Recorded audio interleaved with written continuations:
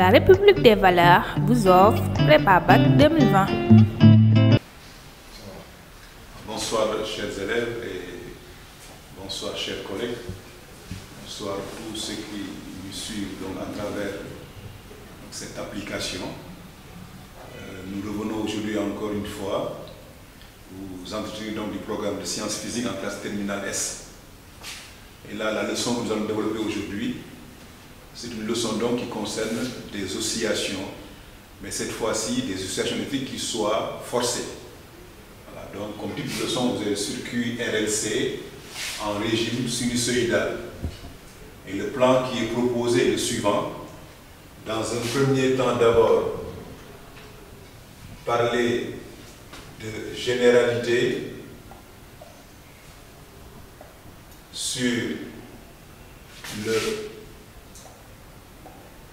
courant donc sinusoïdal.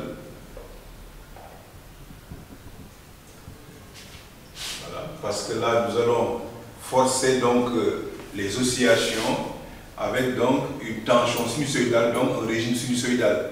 Ce qui fait donc il est question donc de développer un peu donc quelques relations qui sont applicables donc qui sont valables dans le cas où le courant n'est plus un courant continu mais un courant sinusoïdal.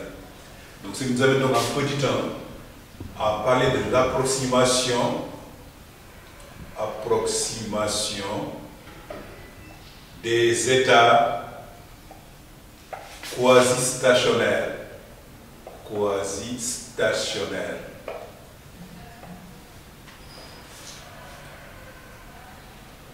En effet, donc quand nous considérons donc le courant électrique, nous avions appris en classe de seconde que il correspondait à un déplacement d'électrons. Et quand on prend un circuit série, il est établi donc que le courant arrive à tout moment, en n'importe quel point de circuit, de façon instantanée, mais également simultanément. Et pour que maintenant cela soit envisageable, il faut donc voilà, choisir un courant qui soit une onde une onde qui se propage à la vitesse de la lumière. Si le courant donc est une onde qui se propage vitesse de la lumière, on pourra donc admettre alors en tout point de circuit, le courant arrive en même temps et simultanément. Et qui dit onde dit fréquence. Alors le courant sera associé à une fréquence, fréquence de l'onde correspondant au courant. Et si la fréquence de l'onde qui correspond au courant, une fréquence qui n'est pas très importante, en tout cas qui ne dépasse pas 1 million de Hertz, toutes les lois qu'on a établies en courant continu sont valables en courant sinusoïdal. Et ces approximations qui sont faites constituent donc ce qu'on appelle les états quasi-stationnaires. Voilà donc de quoi il s'agit.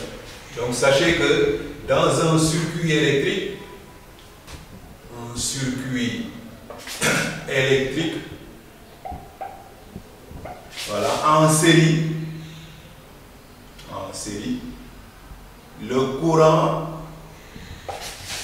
arrive en tout point du circuit, en tout point du circuit, voilà, simultanément et instantanément. Instantanément. Il n'y a pas donc les points qui soient placés avant soit parcouru par le courant, bien avant. Mais le courant s'installe en même temps, instantanément. Voilà. Maintenant, pour cela, pour cela, voilà, il est envisagé que ce courant soit une onde, courant soit une onde. Une onde voilà, électromagnétique qui se déplace, se déplace à la vitesse de la lumière. Vitesse de la lumière. Voilà donc ce qu'on peut donc envisager pour admettre que le courant arrive en même temps en tout point. Maintenant, si la fréquence N, qui est en S, associé à ce courant est inférieur à 10 puissance 6 Hz, donc 1 million de Hz, alors toutes les lois, toutes les lois du courant continu qu'on a eu à voir dans les classes précédentes, courant continu, voilà, reste valable, ces lois donc, valables pour le courant sinusoïdal. Pour le courant sinusoïdal. Et ceci, ceci constitue, constitue l'approximation,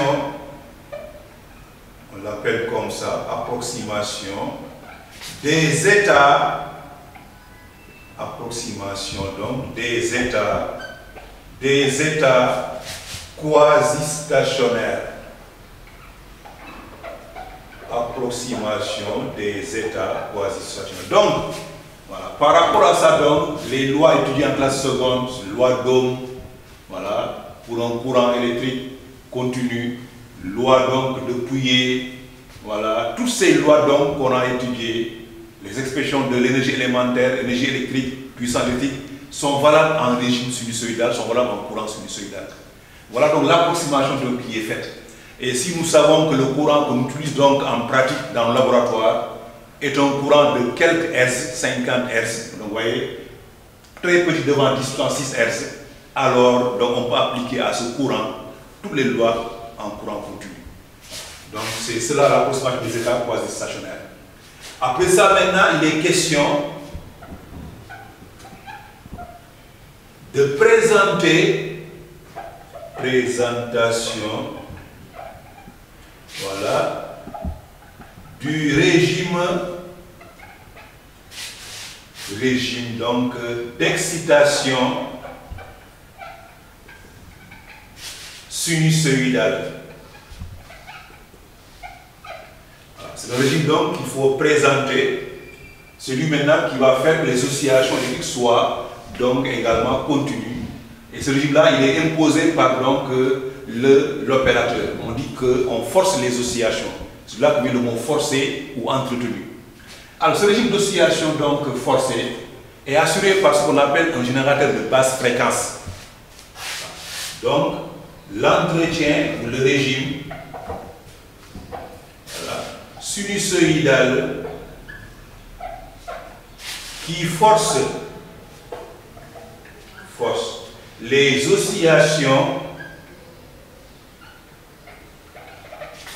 est assuré, est assuré donc ce régime par un générateur de basse fréquence.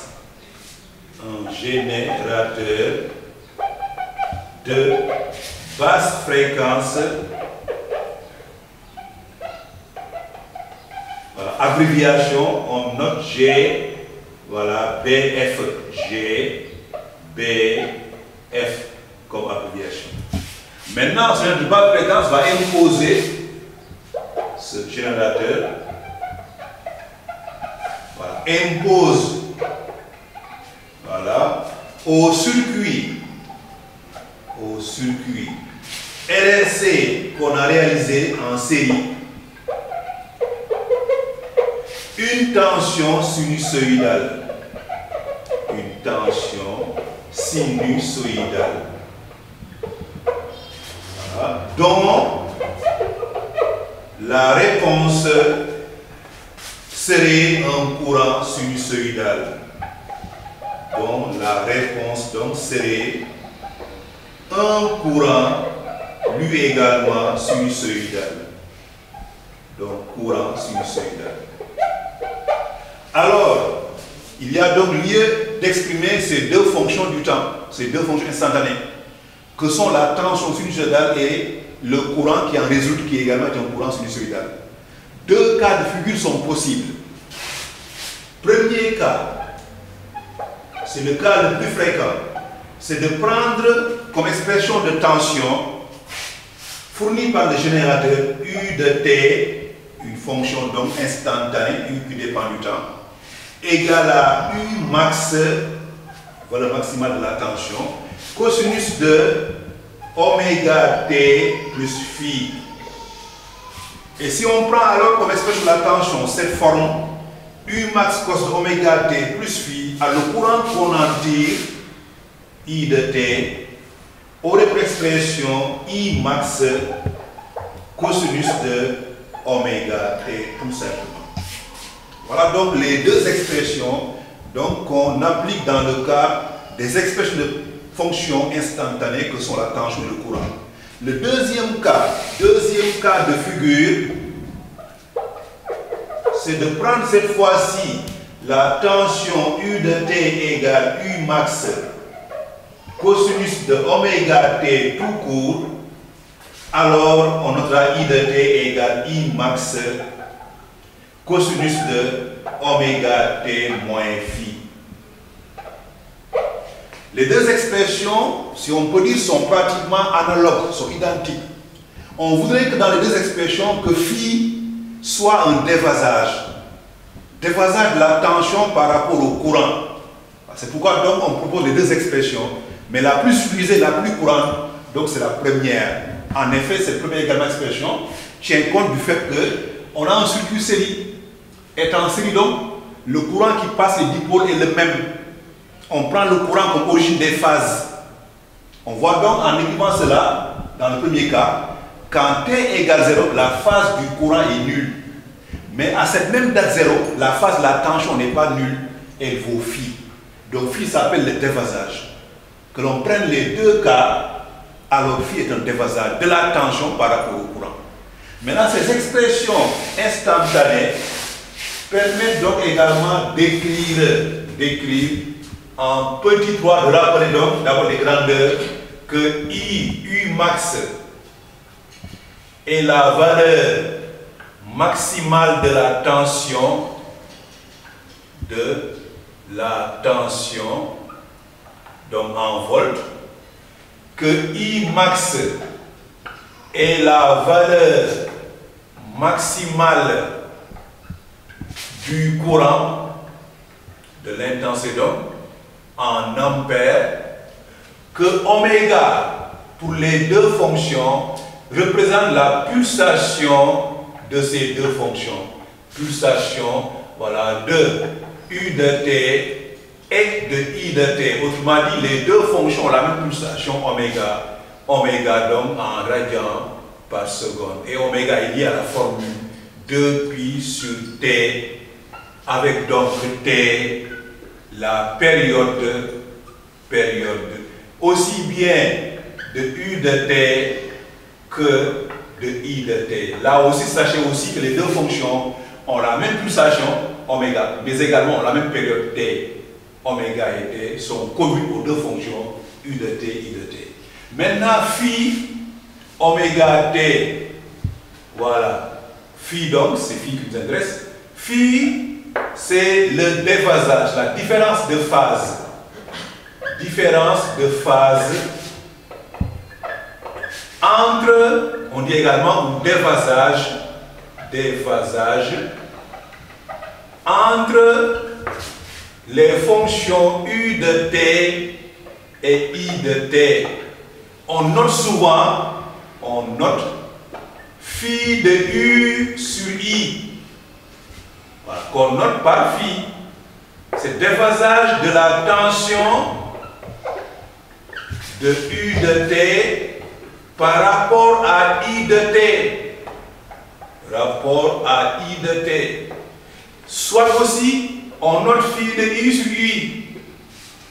Et phi de I sur I maintenant, c'est le contraire. C'est le déphasage du courant de I de T par rapport à la tension par rapport donc à U de T.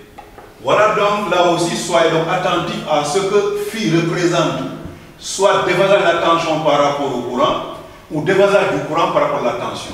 On note ça donc, phi, phi est un angle, phi s'exprime en radian, on parle de déphasage. Voilà donc les paramètres interviennent dans les deux fonctions du temps, que sont les valeurs maximales, la pulsation, la période et le déphasage. Des grandeurs maintenant qu'on va également essayer de définir et déterminer au fur et à mesure la progression de la leçon. Je vous amène donc à parler ces grandeurs en petit 3, les valeurs maximales d'abord, voilà, des fonctions, fonctions U de t et I de t, à savoir donc U max et I max. Comment les définit-on? Comment les détermine-t-on sur tout ça? Alors, sachez que les grandeurs maximales, maximales, sont déterminées, sont déterminées à partir des oscillogrammes.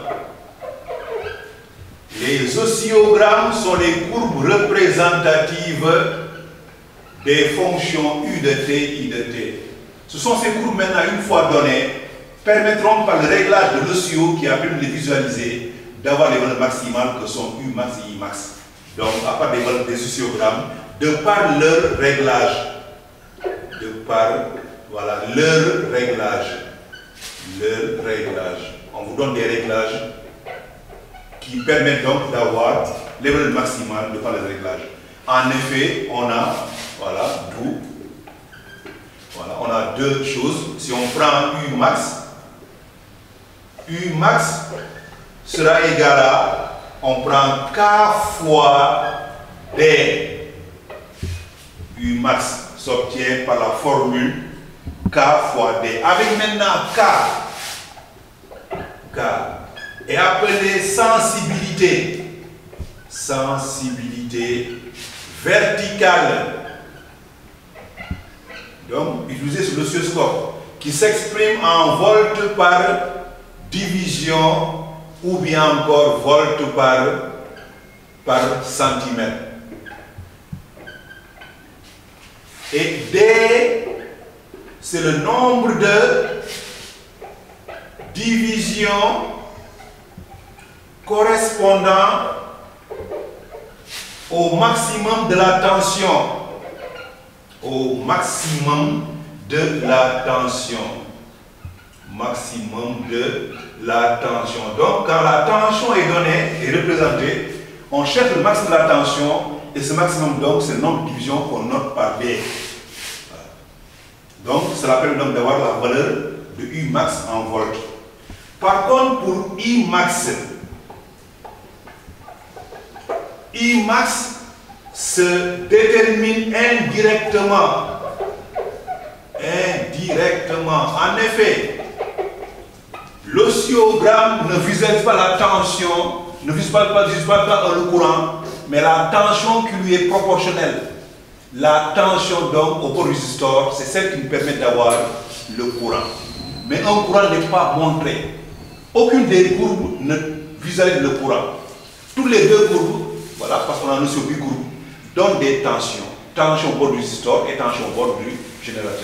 Donc, on dit c'est indirectement, voilà, indirectement, à partir, à partir de la tension aux bornes, aux bornes, aux bornes donc du résistor, borne du résistor. Soit maintenant cette tension, on a UR max égale K fois K prime fois D prime. Voilà, K prime c'est la sensibilité également sensibilité. Voilà, sur la voie, des voies, dans le cas des branchements, la voie donc, voilà, visualisant la tension UR, tension UR, UR de T. Et D', c'est le nombre de divisions, lui aussi, correspondant au maximum de UR. au maximum de UR. UR de T. Comme ça, dès qu'on a donc D' et K', UR donc max s'en déduit. Et une fois qu'on a UR max, alors I max s'en déduit. I max égale, on pose égale UR max divisé par grand R. Et grand R sera donné donc, grand R va représenter la résistance du résistor du conducteur ohmique, du résistor. Voilà donc comment représenter alors la valeur de I max. Donc voilà comment donc les valeurs maximales sont définies et sont représentées. On fera maintenant un exo d'application pour montrer comment concrètement exploiter les oscillogrammes pour accéder à ces valeurs maximales que sont U max et que sont I max. Ensuite, le dévasage phi. Donc, dévasage phi. Maintenant, phi, lui, donc là j'ai mis grand 2, valeur maximale. Donc, quatrièmement, voilà, détermination, détermination du déphasage phi de U par exemple par rapport à I. Exemple. Bon, donc c'est un déphasage entre les deux fonctions. Lui aussi on le trouvera donc graphiquement, avant de le voir donc plus tard par calcul. Voilà, graphiquement. Donc on le détermine, détermine, voilà, graphiquement, graphiquement, à partir, partir des oscillogrammes. Les oscillogrammes, je rappelle donc au passage, sont les courbes représentatives,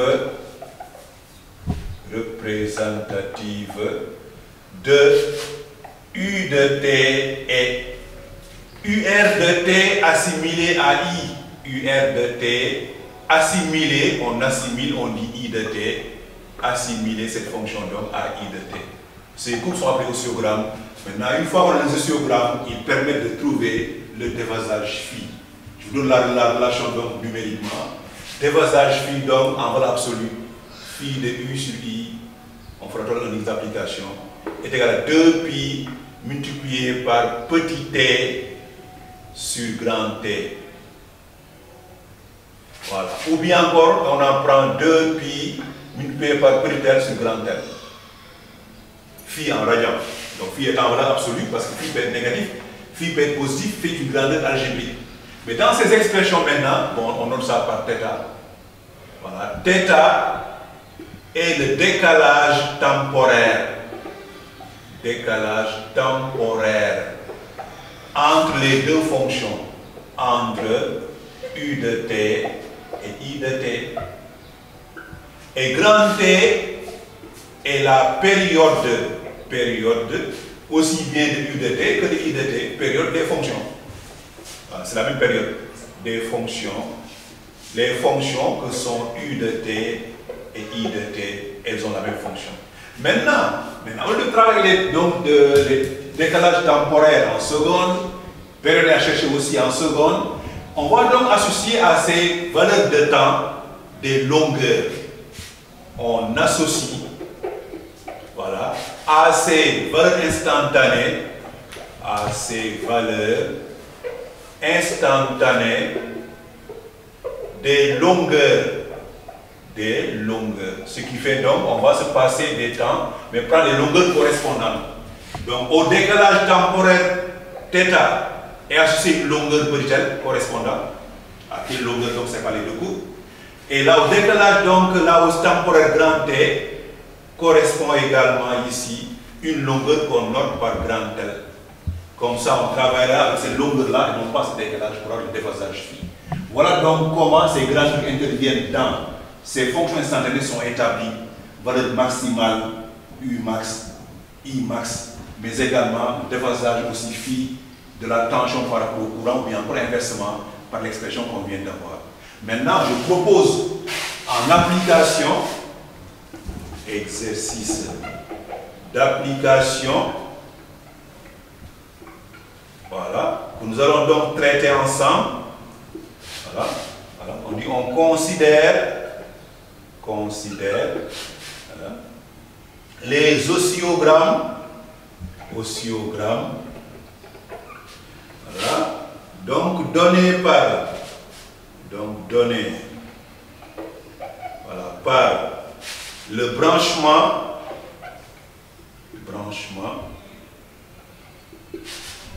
d'un circuit RLC, circuit RLC, voilà, circuit RLC donc, comme suit, comme suit. Et là, on prend maintenant, ce sont des courbes représentatives. On prend alors un papier quadrillé ou un papier millimétré voilà, comme ceci. Voilà. Vous avez ici des divisions qui sont indiquées. Voilà. Et là, on trace deux courbes.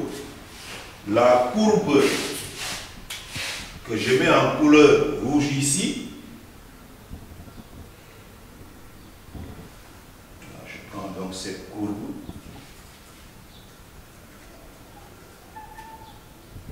Voilà, celle-là.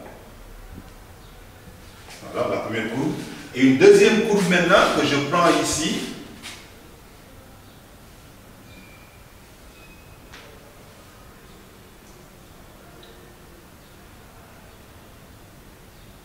Voilà.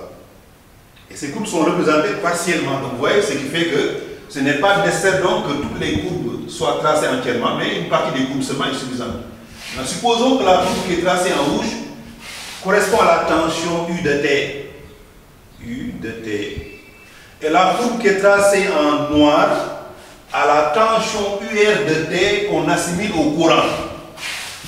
UR, U résistor, mais assimilé à I de T. On met I de T, mais n'oubliez pas, comme je vous ai dit également en remarque, aucune des courbes n'est un courant. Toutes les deux courbes sont des tensions. Voilà. Maintenant, on vous donne également les informations suivantes. On vous donne la résistance R. On donne. On donne, voilà. R égale, par exemple, je prends 100 ohms. On prend comme réglage également, donc K qui correspond à, voilà, je prends donc 2 volts par division et je prends K' sur la voie qui donne la tension I de T, donc fois, voilà, de UR, voilà, U, U de T, U générateur, U de T. Et K' égale, je prends par exemple euh, 1 volt par division, division, et ça c'est la voie de UR de T assimilée au courant. Mais également, on prend aussi une sensibilité également que l'on dit horizontale pour avoir souvent la pulsation et la période. Je prends par exemple K secondes égale à, je prends 10 millisecondes par division. Maintenant, la question posée, les questions posées sont les suivantes. On vous demande de trouver graphiquement ces grandeurs dont on vient de parler. Les valeurs maximales U max, la valeur maximale du courant I max, mais également la période voilà, et le déphasage phi. Voilà les questions posées donc. Déterminer comme question, déterminer, déterminer les valeurs de U max, point virgule, I max, point virgule, T la période oméga d'abord, et ensuite phi de U par rapport à I. Voilà donc ces questions qui sont posées, nous allons donc essayer ensemble d'établir, de, définir. Donc je rappelle donc la situation d'abord schématiquement. Donc ce travail vous est donné, on vous donne ce qu'on appelle oscillogramme. L'oscillogramme est une photo des deux tensions qui sont visualisées.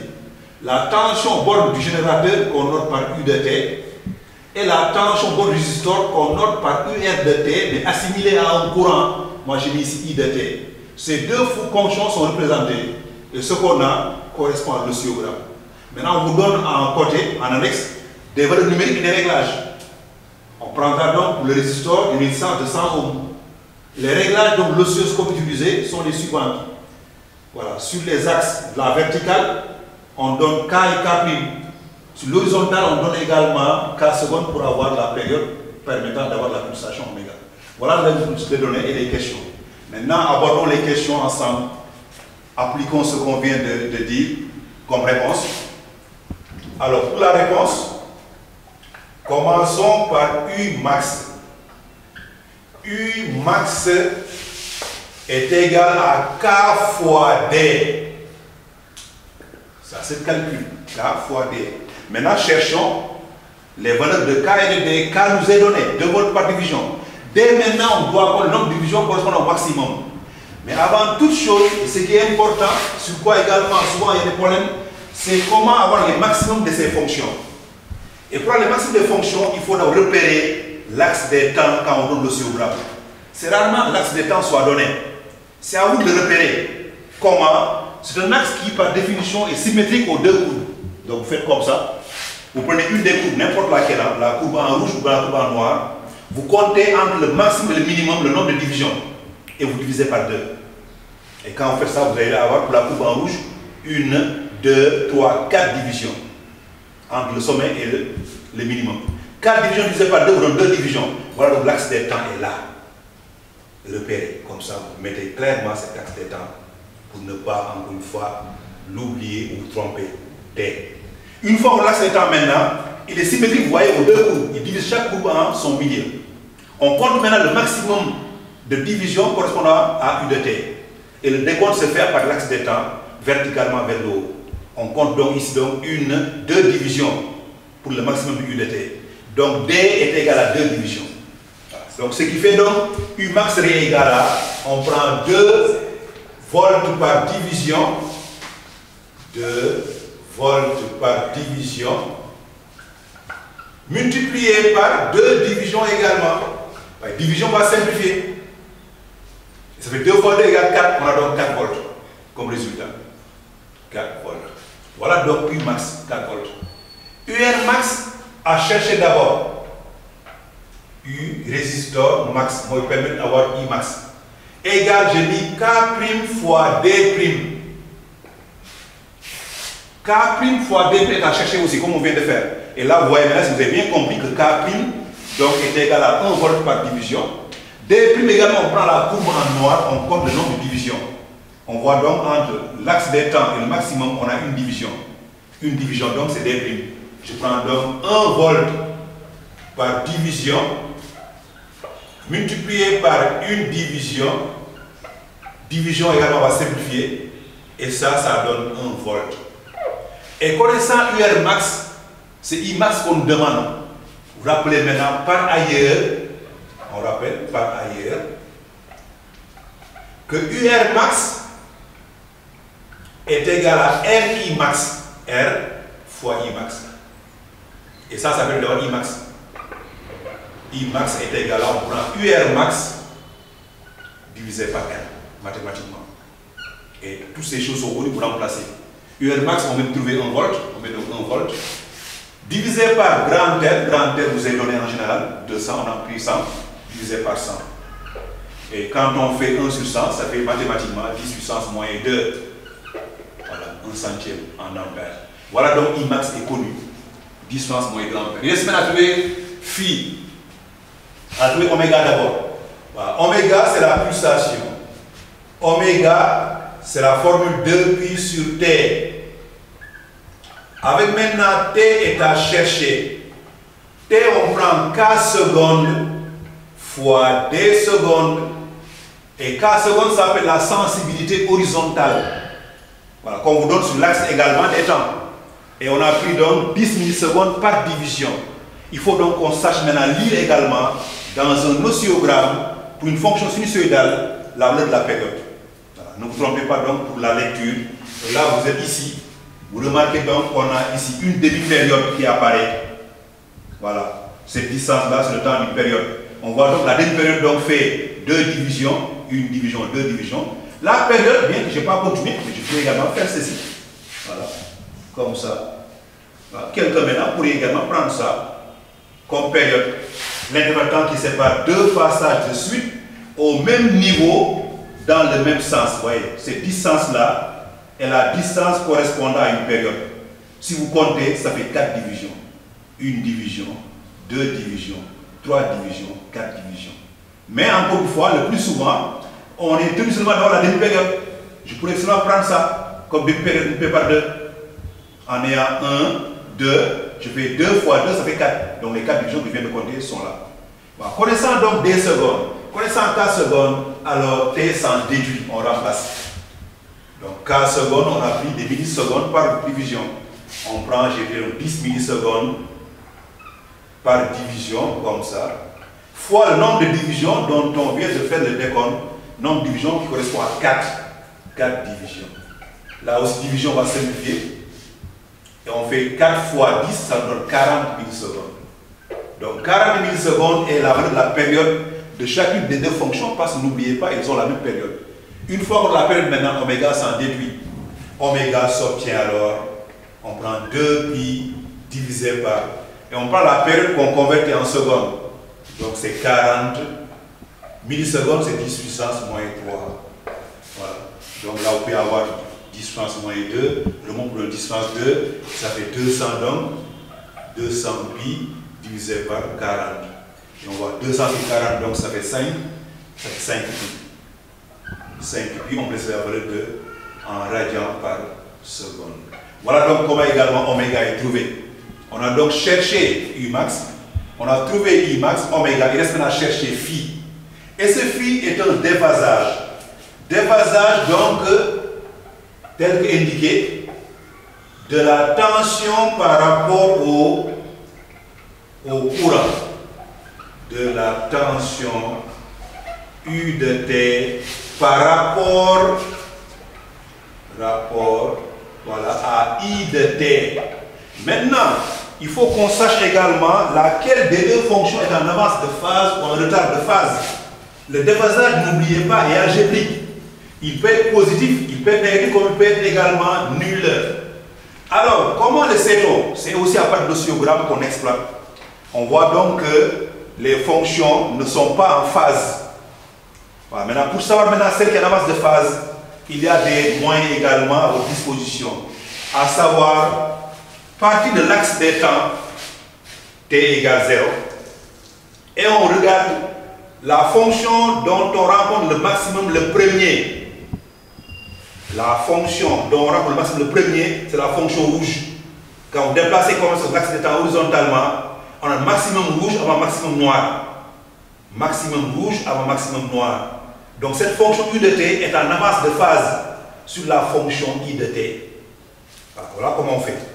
Je rappelle encore une fois, ce n'est pas la fonction forcément qui a le plus grand maximum. Non, non. Déplace l'axe des temps du zéro sur l'axe des temps vers la droite. Le maximum, le premier qu'on rencontre est celui dont la fonction est en avance. Et là, vous voyez, on rencontre le maximum de u de t avant celui de i de t. Donc u de t est en avance de phase sur i de t. Mais de combien de divisions maintenant? Vous voyez, d'une division, La longueur correspondant à l'avance de phase c'est peut-être égal à 1, une division.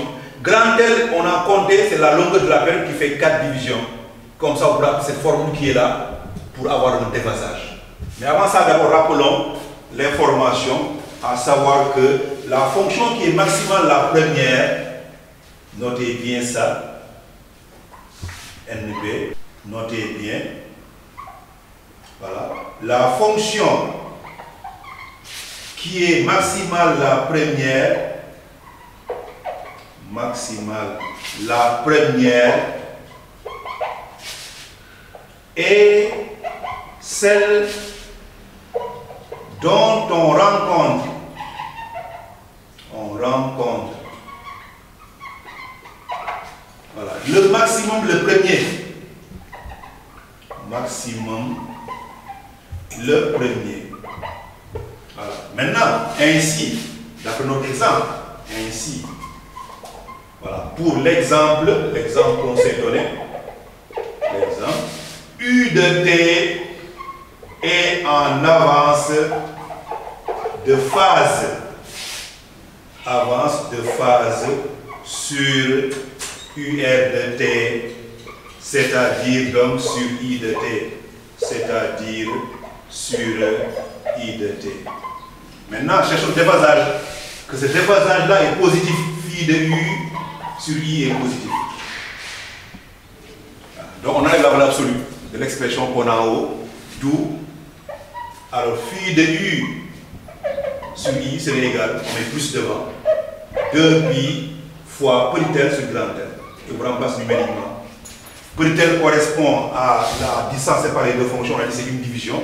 Grand L c'est 4 divisions, ce qui donc va donner par calcul 2 fois 1 divisé par 4. Et là ça donne pi sur, sur 2 en radian. En radian, Voilà donc euh, les grandeurs que nous avons eu à établir, qu'on s'était proposé à résoudre de par l'oscillogramme. Et ce travail est un travail important dans le circuit RLC. Donc sachez exploiter les oscillogrammes, sachez le faire, en, en ayant donc les réglages, en ayant donc également les courbes représentatives. Mais sachez lire également les oscillogrammes. Lire quoi? Lire les tensions correspondantes aux fonctions qui sont visualisées, mais également lire les périodes. De là maintenant, pouvoir calculer le maximal, le dévasage et la période. Voilà donc pour ce qui était de ce point de, cours, à savoir comment le dévasage fit. Ensuite, nous continuons également à chercher en petit scène pour ces mêmes fonctions instantanées aussi, ce qu'on appelle les valeurs efficaces. Voilà, grandeur efficace. Grandeur efficace. Efficace, voilà, des fonctions instantanées que sont I de t et U de t. Bien que ces fonctions ont des valeurs maximales, mais également elles ont des grandes efficaces qu'on note par U efficace et par I efficace. Maintenant, pour les établir ces grandes efficaces, on rappelle une donnée mathématique. Rappel mathématique. Rappel mathématique qu'on va utiliser à savoir que toute fonction, voilà, toute fonction sinusoïdale, toute fonction donc sinusoïdale, voilà, que j'appelle f de t, a une valeur, efficace a une valeur efficace, voilà, qu'on note par grand F, voilà, tel que maintenant, tel que, alors on a maintenant grand F égale 1 sur T, grand F au carré, intégrale de 0 à grand T de petit f au carré dt. Voilà une formule mathématique donc, l'on utilise souvent dans les statistiques en mathématiques pour trouver les fonctions ou les valeurs efficaces des fonctions périodiques. Il, fait, qu'il faut également que la fonction soit périodique, donc T est dans la période. Et ça, nous allons appliquer maintenant pour chercher à établir la valeur efficace du courant, mais également celle de la tension. Appliquons ça maintenant à nos fonctions, qui sont des fonctions sinusoïdales U de T, I de T, qui sont des fonctions également périodiques de période T. On pourra donc associer à ces fonctions des valeurs efficaces. Allons-y donc. On va commencer par chercher d'abord l'intensité efficace. Intensité efficace. Et pour ça, en appliquant donc cette connaissance mathématique, alors rappelons l'expression de I de T. Voilà. Donc, on va déterminer d'abord détermination, détermination de I efficace ou bien on a seulement grandi majuscule sans mettre le M. Quand on ne met pas M, c'est efficace, on lit. Quand on met M, c'est maximal. On a donc d'abord I de T.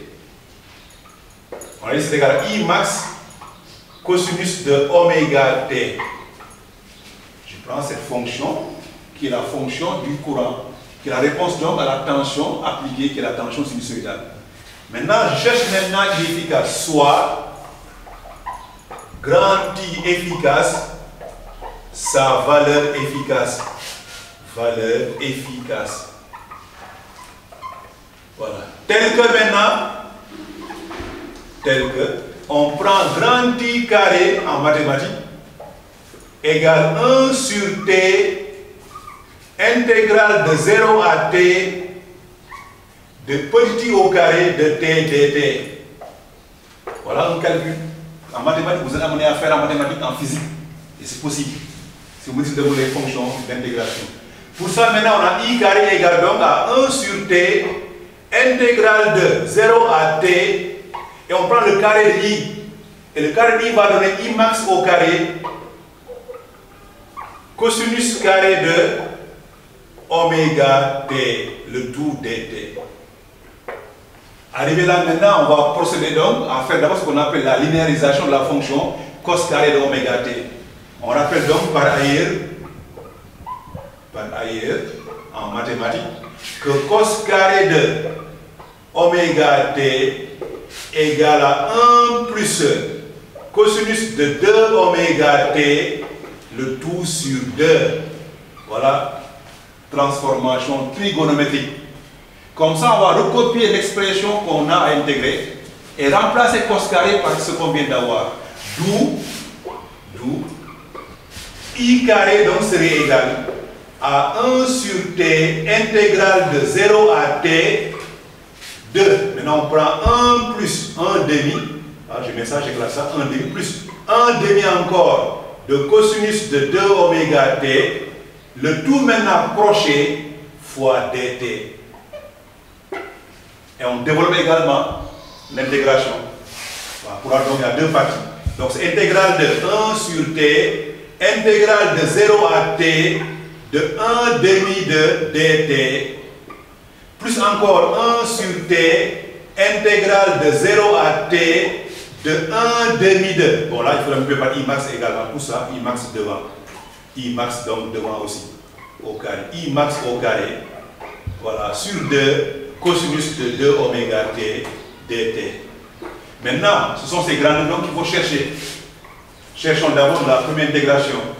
Cherchons donc intégrale de 0 à t de i max au carré sur 2, voilà, dt. Et pour ça, la primitive d'une constante que voilà, c'est la constante qui ne peut pas la variable t. On prend donc cette constante qui vaut i max au carré sur 2 fois t, la primitive. Les bornes étant 0 et grand t.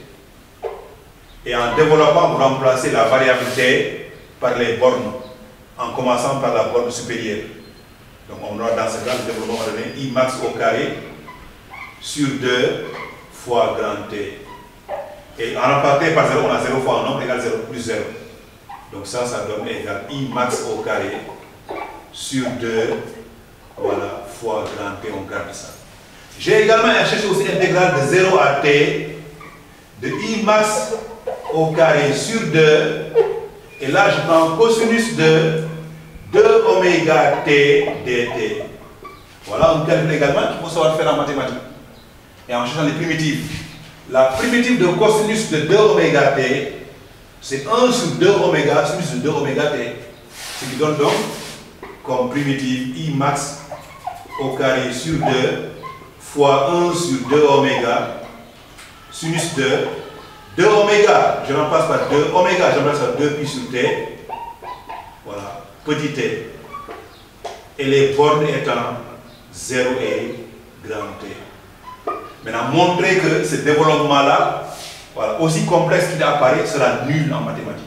En remplaçant donc là par, la, par les bornes, j'obtiens alors intégrale de 0 à t de i max au carré sur 2 cosinus de 2 oméga t dt serait égal. Maintenant, je remplace. Lui donne i max au carré sur 4 oméga, 2 fois 2 c'est 4. Et là, je vais remplacer t par grand t. Ça sinus de 4 pi en effet. On remplace t par grand t, grand t va simplifier. 2 fois 2 égale 4, donc les 4 pi apparaissent en sinus. Moyen maintenant, encore I max au carré sur 4 oméga toujours. Et là, je remplace T par 0. Je donc sur 0.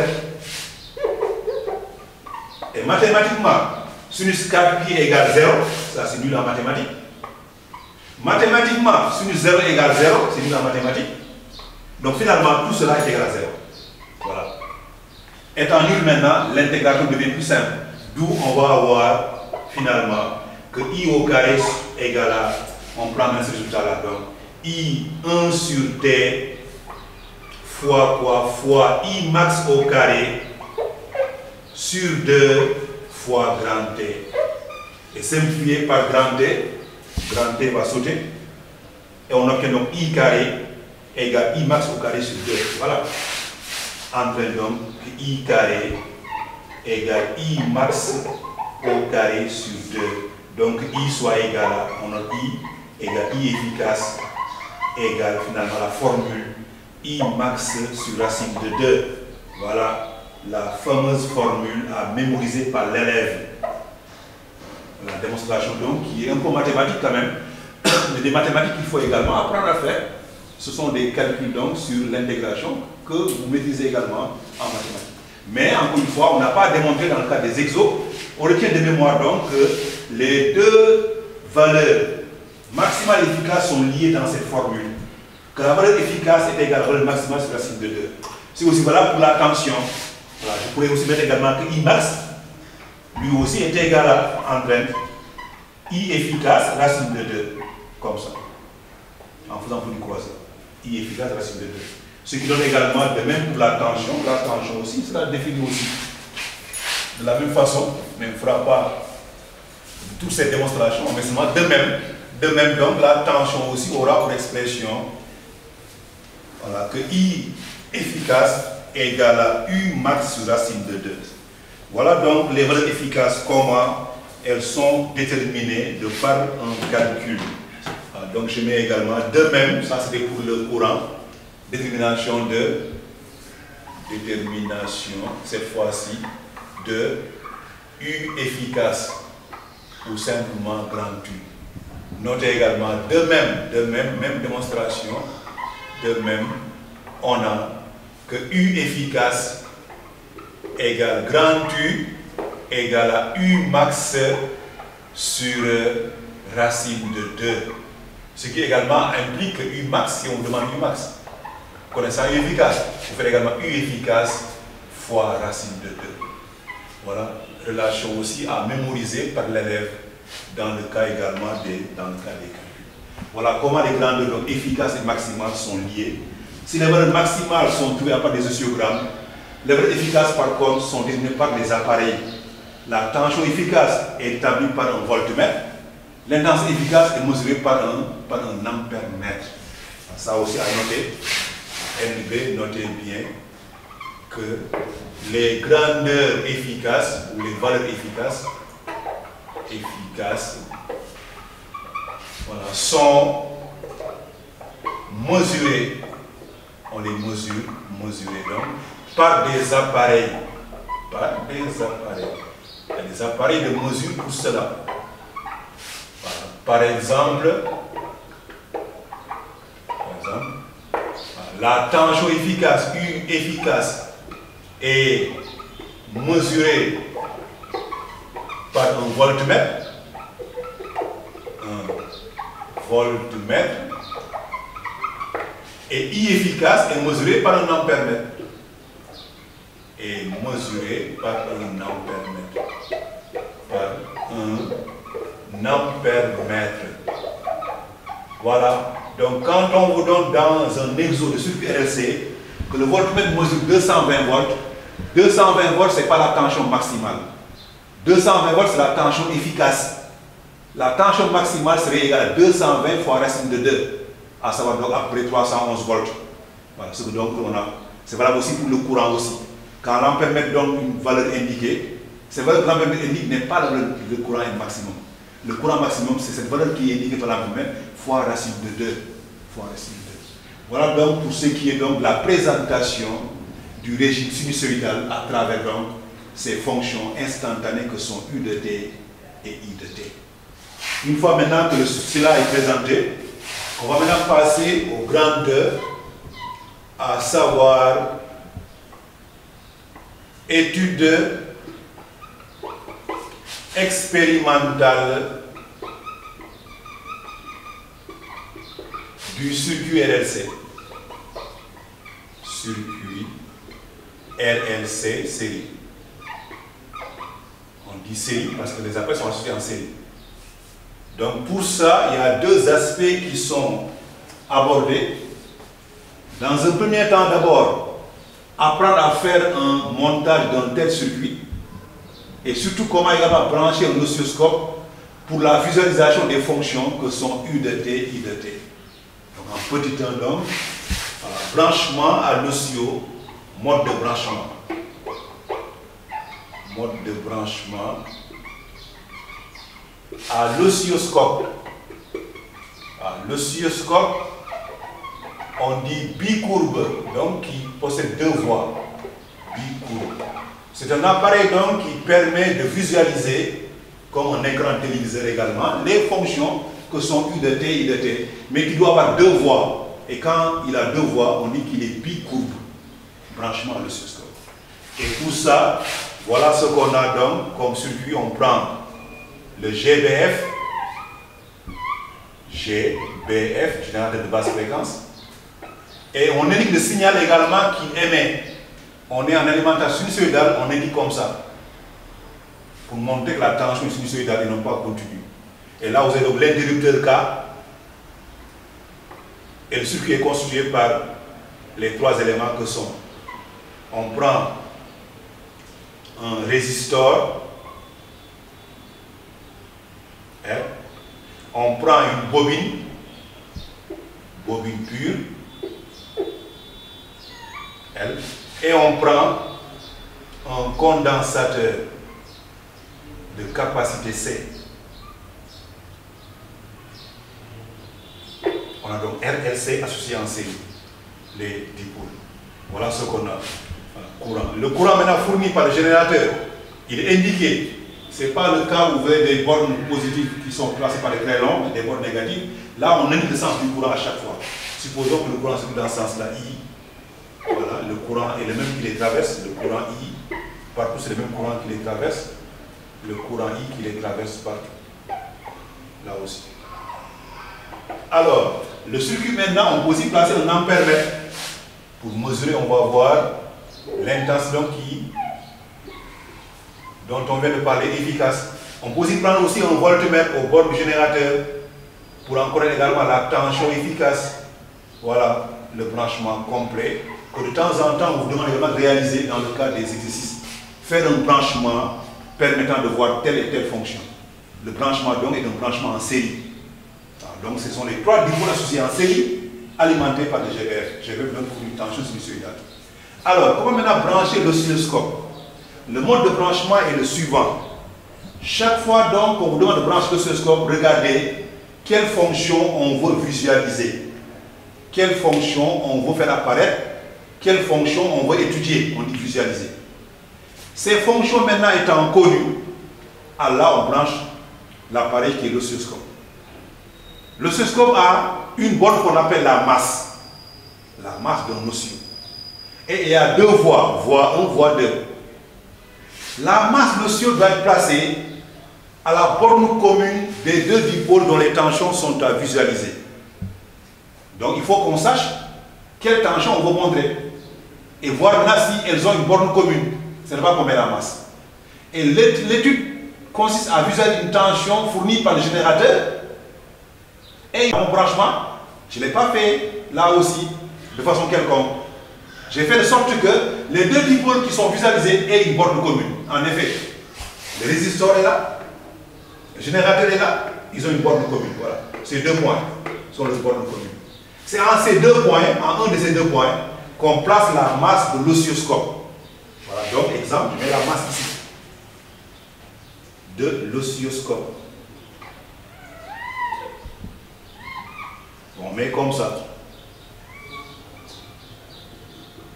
La masse de l'oscilloscope. La masse est passée. Reste maintenant pas de deux voies. Voie 1, voie 2. Maintenant, la voie 1, si c'est la voie qui donne la tangente du, du du générateur, on place maintenant l'autre côté du générateur, on en place ce côté, la masse. On place le second côté de ce côté-là, la voie 1. De ce côté donc, avant de dipôle on place la voie 1. Voie 1 est là.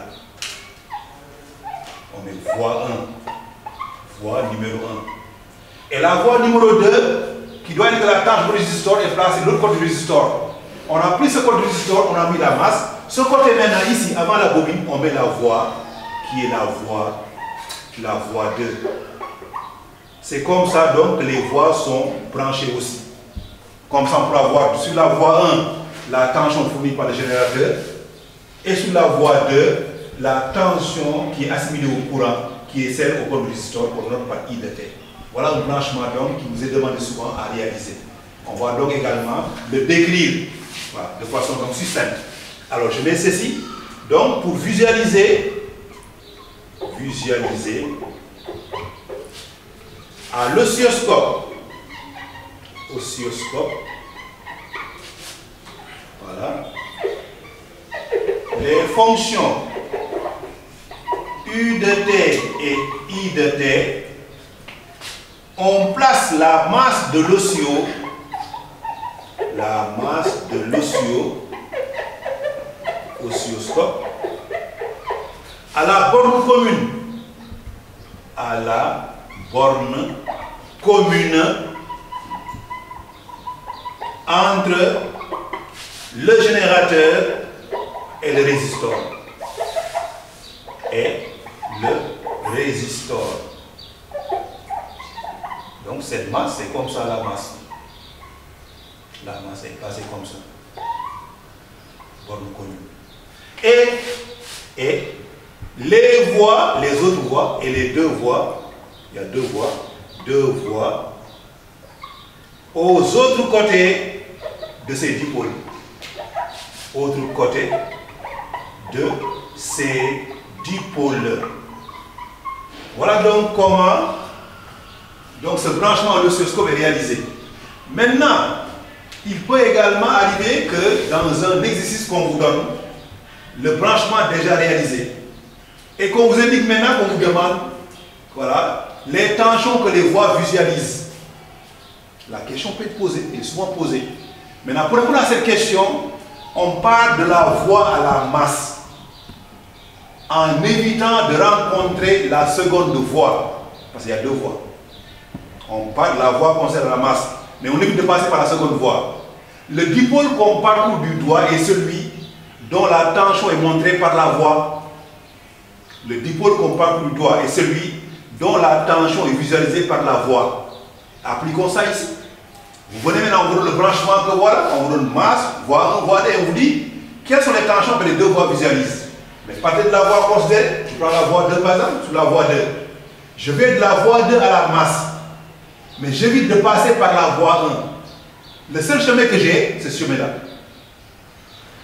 Je vais de la voie 1, 2 à la masse. Mais j'évite de rencontrer la deuxième voie. Je ne peux pas passer par là, là je pas passer là, je rencontre la deuxième voie. Le seul chemin que j'ai, c'est ce chemin-là. Et quel dipôle on rencontre du doigt C'est le résistor. Donc la voie 2 montre la tension au bord du résistor. Je vais de la voie 1 à la masse en évitant de passer par la voie 2. Ce chemin-là est interdit. Vous ne pouvez pas passer par là si vous rencontrez la voie 2. Quel chemin on rencontre On passe, on passe par le chemin d'en haut, celui-là. Comme ça, d'en haut, du doigt. Un seul du point rencontrer, c'est le générateur. Donc la voie 1 donne la du générateur. Voilà également le revers de la médaille. On vous demande de faire un branchement, mais également on vous demande de justifier un branchement. Justifier, c'est indiquer quelles sont les tensions que les voies visualisent. J'appelle ça justification des branchements. Ça aussi, on en parle en remarque, parce que la question également, est souvent rencontrés. Traitons cela dans le cadre du cours également. Notez bien donc, notez bien NB, NB. Donc je mets ce que la tension qu'une voix visualise, la tension qu'une voix donnée, une voix donnée. Visualise signifie montre, visualise. Et celle, et celle que l'on parcourt du doigt, on parcourt du doigt en allant, en allant de la voie à la masse, la voie considérée bien sûr, de la voie considérée à la masse, et en évitant, en évitant de rencontrer la seconde voie, rencontrer la seconde voie. Quand vous le faites donc, vous avez donc la tension que la voie monte. Voilà donc les deux aspects donc qu'on peut encore une fois rencontrer. C'est soit réaliser un montage à l'oscilloscope, mode de branchement, ou bien également un branchement donné et on vous demande de justifier ce mode de branchement, à savoir indiquer les tensions que les voies visualisent, les deux aspects. Après donc ce mode de branchement l'oscilloscope, on va également parler d'une de caractéristiques du circuit RLC, à savoir la notion d'impédance. Notion d'impédance d'un dipôle d'un circuit. Impédance d'un circuit qu'on note par la lettre Z. Notez Z. Voilà. Et pour en parler, alors on va manipuler le circuit qu'on a réalisé en faisant varier la fréquence du GBF et en mesurant d'une part la tension donc qui est appliquée au bord du circuit par le voltmètre et d'autre part l'intensité du courant également qui passe du circuit par l'ampèremètre. Donc quand on fait varier la fréquence du GBF, les deux grandeurs vont varier.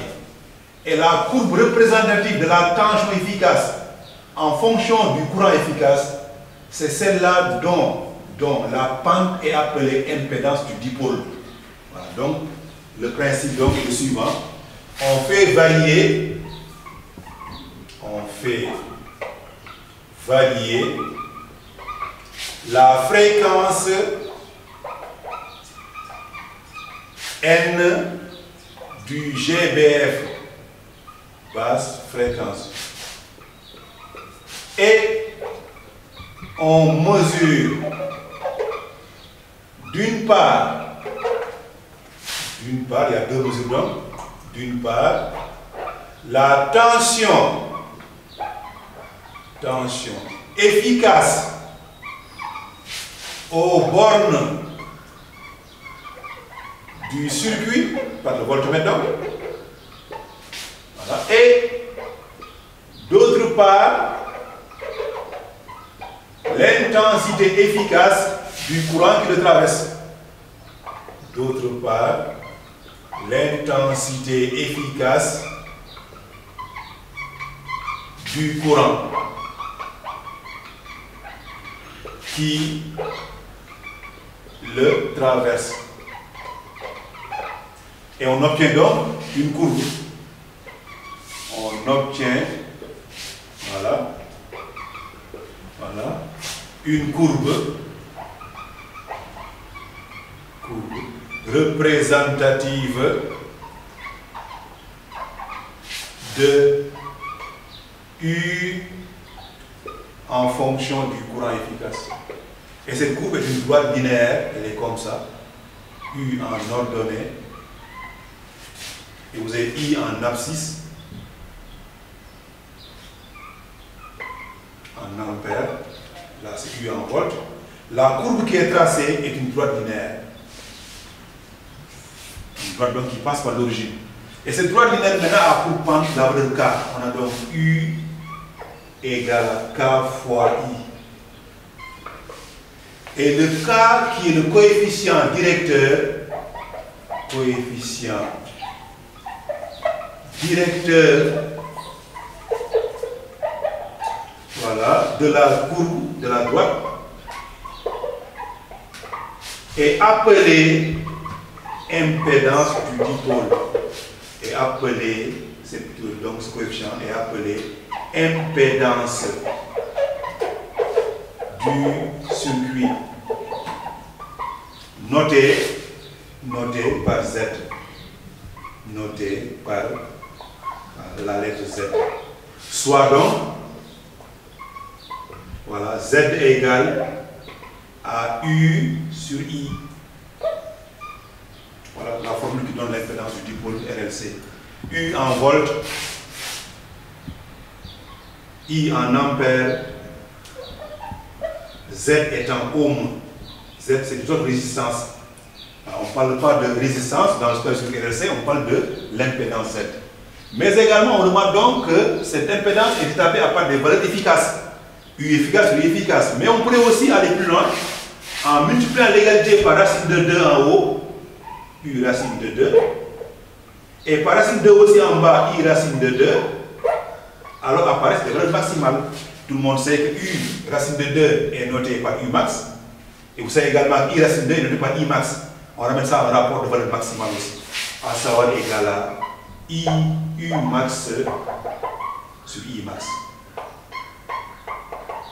Voilà donc pour l'impédance Z du pôle. Donc soit rapport entre des valeurs efficaces ou bien rapport entre des valeurs maximales.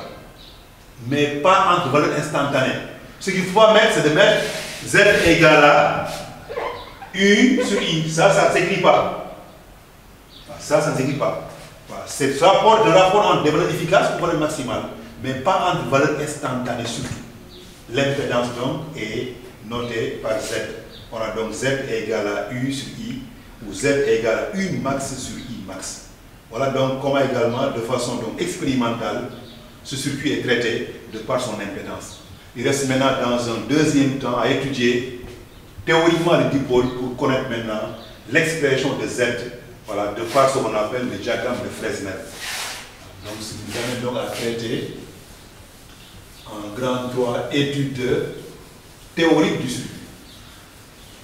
Étude théorique du circuit.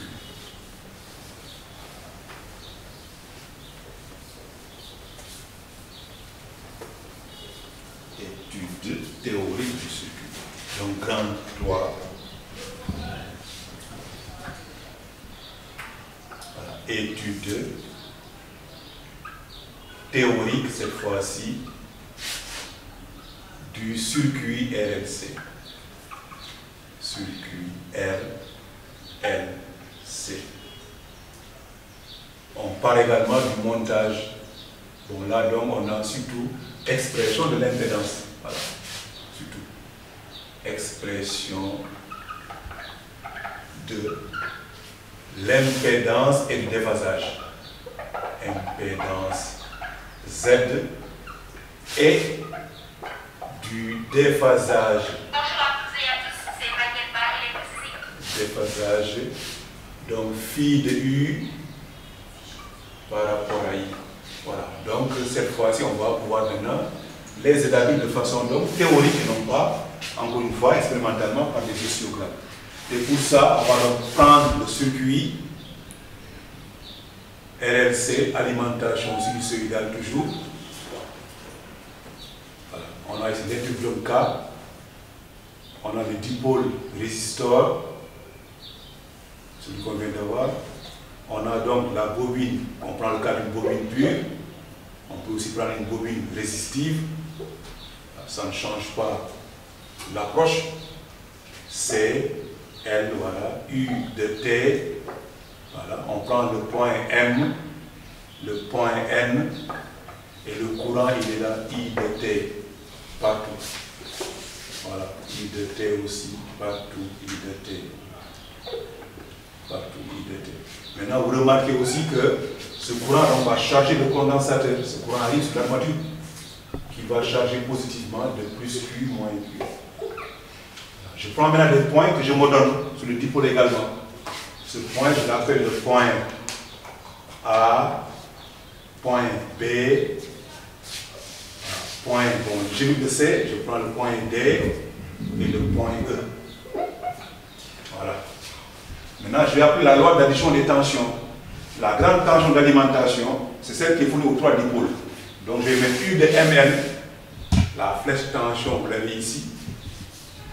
U de MN de T qui est égal à U max cosinus de oméga t plus phi. Et le courant maintenant I de t qui en résulte sera égal au courant I de t égale I max lui aussi cosinus de oméga t. Maintenant, je cherche donc que la tension d'alimentation est la somme des tensions au des trois dipôles. Donc U de T égale UR de T résistor plus U bobine de T plus U condensateur de T. Donc loi d'addition des tensions des dipôles associés en série. Les tensions s'additionnent. Cherchons maintenant chacune des tensions avant de faire la somme. Commençons par la plus simple qui est UR. Donc un point, cherche d'abord UR de T. UR de T, trace la flèche tension, elle est comme ça. On voit donc UR de T, c'est égal à RI. R fois petit i. Remplaçons petit i par l'expression instantanée. Donc pour avoir RI max, cosinus de oméga t. Voilà donc. Pouvez aussi avoir max également i efficace égale à RI efficace, racine de 2, cos de oméga t, vous gardez ça. U bobine, U efficace également. Convention également, récepteur U bobine. Flèche tension et courant sont opposés. On devrait avoir également dans ce cas aussi Li moins E, mais j'ai pris le cas RNI, donc c'est moins E. Et moins E c'est plus LDI sur DT, plus L, dérivé de I par rapport au, temps. Égal donc L, dérivé par rapport au temps, et je prends I. I c'est égal à I max cosinus de oméga t. Et dérivé de cosinus de oméga, ça moins sinus, on sort de oméga. Donc ça fera moins L oméga I max sinus de oméga t. Qu'on amène également en cosinus. Toutes les fonctions qu'on va chercher, on les amène en cosinus pour que l'expression soit homogène. Je remplace ici pour avoir égal à L I racine de 2 oméga. Et là, je vais avoir cosinus de oméga t plus pi sur 2, je garde ça. J'ai également U condensateur. J'ai également flèche tension à tracer UC. Et U condensateur vaut plus Q sur C. Donc 1 sur C, Q. Avec maintenant, on a un courant de charge I égale dQ sur dt, entraîne que dQ égale I dt, donc entraîne que Q égale à intégrale de I dt, de 0 à T. Donc ce qui fait donc on va avoir UC égale 1 sur C, intégrale de 0 à T, voilà, de I max, voilà, donc cosinus de oméga T dt. Maintenant on prend l'intégration. La plus de cosinus oméga t, c'est 1 sur oméga, donc sinus oméga t, ça fait donc égal à i sur c, i max sur c oméga. Voilà, et là j'ai donc sinus de oméga t, que j'avais aussi en cosinus. Et pour la en cosinus, je vais avoir donc égal à i max sur c oméga, cosinus de oméga t moins pi sur 2. Voilà donc les fonctions que j'ai cherchées, que sont UR de T, U bobine de T et UC de T. J'en fais la somme maintenant. D'où je vais avoir quoi? D'où je vais donc recopier la, la, sommation. L, I, racine de 2, cos oméga T, plus L oméga I, racine de 2, cosinus de oméga T, plus pi sur 2, plus I racine de 2 sur C oméga, c'est I max, oméga T moins pi sur 2, et tout ça égale à quoi? Égale U racine de 2 cosinus de oméga T plus phi.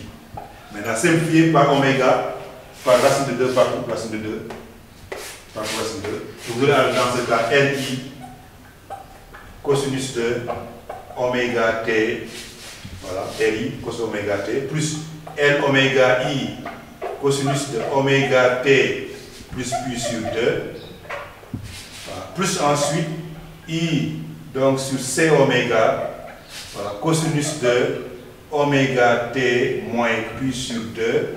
Et ceci est égal à quoi? Égal à u cosinus de oméga t plus phi. Je vais maintenant associer à chacune des fonctions du temps, vous en avez 5, une, vous en avez 4, une, 2, 3, 4, un vecteur que l'on dit tournant de Fresnel. Et ce vecteur de Fresnel est associé et défini par deux choses. Par sa valeur maximale et par sa phase à t égale 0. Donc je prends la tangente UR, j'appelle petit u R, vecteur tournant de Fresnel. Comme ça, UR en vecteur. La valeur maximale de la fonction, c'est ce qui est avant le cosinus. Donc c'est RI. La phase à 0, c'est 0. À t égale 0, la phase, on remplace ici par 0. On ne fait pas cos 0. Tout le monde sait que cos 0 égale 1, le 1 n'apparaît pas. On place la phase à t égale 0. En remplaçant dans oméga t, t par 0, on a 0. Donc UR est défini par sa norme égale RI et sa phase égale 0. U bobine, un vecteur tournant de Fresnel, UB, lui aussi associé aussi à sa norme. Sa norme est égale à L oméga I et sa phase est égale à pi sur 2. Donc L oméga I et la phase pi sur 2. Ensuite, U condensateur aussi. Vecteur tournant de Fresnel associé au condensateur. UC. La norme est égale à I sur C oméga. Et sa phase est égale à moins pi sur 2. Maintenant, ici on a U, dont la norme est égale à grand U, et sa phase est égale à phi. Voilà donc les vecteurs tournants de Fresnel, je récapitule donc. U résistor qui a pour norme Li et pour phase 0. U bobine qui a pour norme L oméga I et pour phase plus plus sur 2. U condensateur qui a pour norme I sur C oméga et pour phase moins plus sur 2. Et enfin la tension du générateur appliquée à l'ensemble du circuit qui a pour norme grand U et qui a pour phase phi. Maintenant, c'est la somme des trois vecteurs que nous allons faire. Voilà. Plus, plus, voilà, égal. Et on va faire la construction qu'on appelle le diagramme de Fresnel pour trouver alors l'impédance et le déphasage. La somme des trois vecteurs donc permet d'avoir voilà, une construction appelée diagramme, diagramme de Fresnel. Et là, maintenant, vous remarquez que sur les trois vecteurs qu'on somme, il y a deux qui sont opposés. Remarque importante, sur les trois vecteurs qu'on somme, les deux sont opposés. Étant opposés, avant de faire la somme, il faut qu'on sache lequel des deux a la plus grande norme pour ensuite pouvoir envisager la somme. Ce qui fait donc qu'on a une discussion qui apparaît. Il y a trois cas qui apparaissent. Le premier cas, c'est le cas où, premier cas donc, premier cas, c'est le cas où L oméga I est plus grand que I sur C oméga. Et tout est également par I, équivaut aussi à L oméga tout court, plus grand que 1 sur C oméga. Et dans ce cas de figure, le dipôle a un nom. On dit qu'il est un dipôle inductif. Le dipôle RLC est dit inductif dipôle RLC est dit inductif et mieux, alors la tension U de T est en avance de phase et en avance de phase sur le courant I de T. Donc, quand vous faites les oscillogrammes, la courbe qui sera en avance va représenter la tension U de T. Celle qui est en retard, le courant qui est assimilé à UR de T. Dans ce cas maintenant, comment faire le diagramme? On trace un axe horizontal, comme ça, orienté. Et on prend cet axe comme origine des phases. Origine des phases, on met OP. Maintenant, on va faire apparaître les trois vecteurs que sont le vecteur d'abord UR, il est porté par l'axe que sa phase est nulle. On commence donc à mettre UR. La norme maintenant, on trace sans échelle, mais dans le cas d'un IXO, l'échelle vous sera donc demandée, vous travaillez avec l'échelle qui est donnée. Donc vous avez donc UR en rouge, voilà, UR, résistor. Et cette longueur de UR est égal à RI, la norme, portée par l'axe déphasage U. On ajoute maintenant la bobine U bobine. Voilà, déphasé de plus plus sur 2. Plus plus sur 2 maintenant, c'est verticalement contraste. Donc comme ça, U bobine est tracé. Plus plus sur 2 est là. Plus plus sur 2. Et là, vous avez U bobine. C'est longueur également du vecteur fait L oméga I. Alors, sur maintenant U bobine, là U bobine, on trace maintenant U condensateur. Mais moins long U bobine, c'est notre supposition. Pour ça moins long bobine. Donc là, je vais prendre également, si on a trois couleurs, voilà, comme ça, un vecteur descendant, et on s'arrête quelque part ici. Et en bleu, on a U condensateur, UC. UC. Et la longueur en bleu est égale à I sur C oméga. I sur C oméga. I sur C oméga. Voilà. Maintenant, la somme des trois vecteurs, U résistor en rouge, plus U bobine en noir, plus U en bleu maintenant, est un vecteur qui est tracé, qui a pour origine l'origine du premier vecteur, ici, et pour extrémité, celle du dernier vecteur, donc celle de UC. Donc tracé maintenant comme ça, et vous avez alors U de l'ensemble. Voilà. La tension d'alimentation. Et apparaît maintenant ici cette norme qui est égale à grand U, qui est égale à ZI, c'est Z qu'on cherche, n'oubliez pas. Et aussi apparaît sa phase l'origine qu'on appelle déphasage. Déphasage phi est là. Voilà phi. Et ce phi, c'est le phi de U bobine, U générateur par rapport au courant I. Voilà maintenant, graphiquement, on va pouvoir chercher, on appelle ça diagramme de Fresnel. Le diagramme de Fresnel du circuit RLC. Maintenant, chercher maintenant, Z et chercher le déphasage phi, on applique les connaissances en. On sait maintenant que, voilà, on a Pythagore. À savoir donc que Z de carré I carré, Z de carré I carré, est égal à R carré I carré, plus maintenant cette distance-là. Et cette distance, c'est la différence des normes. Cette distance, vous allez faire L oméga I, vous y enlevez I sur C oméga. Donc je mets, voilà, plus maintenant, et je mets crochet. Je mets L oméga I, voilà, moins I sur C oméga, le tout au carré. Donc je peux mettre I en facteur au carré.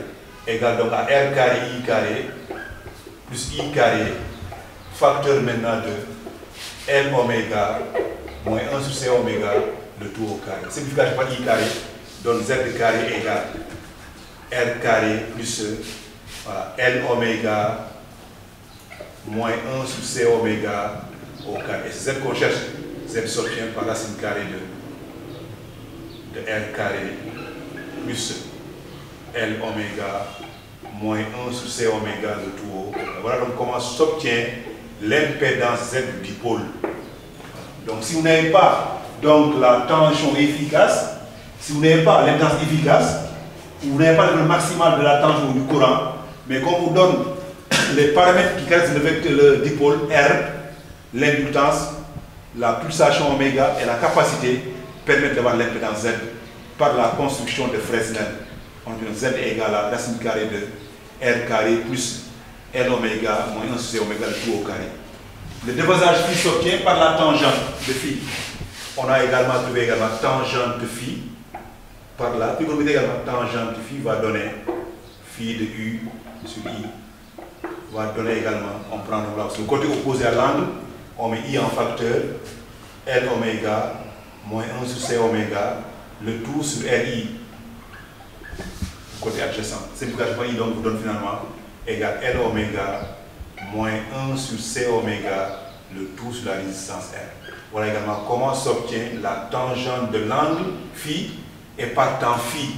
Donc phi s'obtient par tangente moins 1. Tangente moins 1 de tout ça. De L oméga moins 1 sur C oméga, le tout sur la résistance totale du circuit, R total. Parce que là, vous pourrez avoir une résistance, mais la résistance là, également. Voilà donc le premier cas donc, qui est étudié. C'est le cas donc où le dipôle est un dipôle donc inductif, où la tension est en avance de phase sur, sur le courant également. Comment donc, de par la poche présente, accéder à l'impédance, mais également au dévasage de phi de U par rapport au, courant I. C'est comme ça également qu'on pourra donc, dans un prochain cours, euh, aborder maintenant la partie maintenant, le deuxième cas où on a un circuit donc qui est capacitif ou encore un circuit qui est à la résonance en comparant à chaque fois L oméga avec un succès oméga. Voilà donc le travail qui nous attend prochainement. Une leçon donc qui a son importance dans le programme de terminal d'électricité. On l'appelle souvent le circuit RLC. Donc en espérant vous, vous revoir également pour la prochaine fois, pour le prochain cours, nous vous donnons, nous remercions de votre attention, espérant que vous avez été nombreux à le suivre et à essayer également de comprendre ce qui a été dit et ce qui a été fait. Donc je vous remercie de votre attention et vous donne rendez-vous pour la prochaine fois. Merci. Prépa 2020 vous est offert par la République des valeurs.